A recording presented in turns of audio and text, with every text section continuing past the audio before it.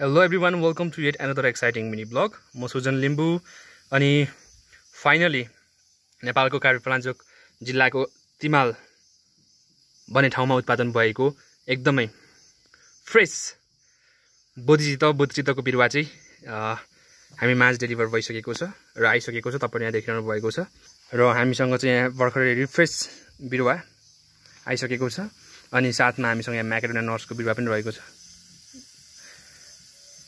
र हामीले विज्ञापन गरेअनुसार अत्याधिक माग भएको छ जुन चाहिँ हामीले यो अहिले आएको बिरुवाले धान्न एकदम गाह्रो छ गाह्रो भइराखेको छ र केही साथीहरूलाई चाहिँ यो पहिलो चरणमा हामी वितरण गर्छौँ त्यसभन्दा पछाडि पुनः अर्को चरणमा पनि वितरण गर्नेछौँ।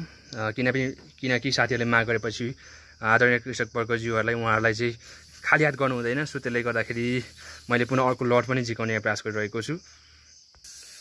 बिरुवा सीमित छ त्यसैले एकदम पै चाँडै सम्पर्क गर्नु होला किन भन्दाखेरि अहिले बिरुवा आएको बेला तपाईँहरूलाई मैले बिरुवा दिन सकिनँ र पछि तपाईँले गुनासो गर्नुभयो भने एकदमै त्यो नराम्रो हुन्छ। सो त्यसले गर्दाखेरि बिरुवा सीमित छ चाँडोभन्दा चाँडो सम्पर्क गर्नु होला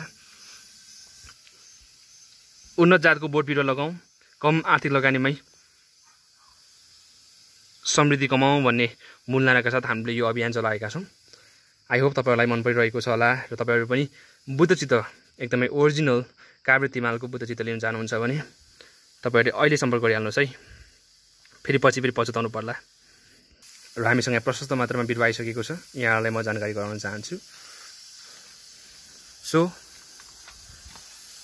चाँडै सम्पर्क गर्नु होला